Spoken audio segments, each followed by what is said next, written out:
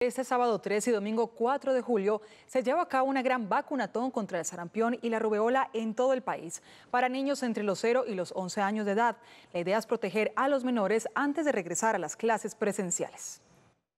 Este fin de semana se realiza la gran vacunatón contra el sarampión y la rubeola para que los niños entre los 0 y 11 años de edad puedan regresar protegidos a clases presenciales este sábado 3 y este domingo 4 de julio vamos a hacer un vacunatón para poder colocar la vacuna de refuerzo de sarampión y rubeola en todos los niños que nacieron desde el 1 de enero del 2010 hasta el 31 de diciembre de 2019.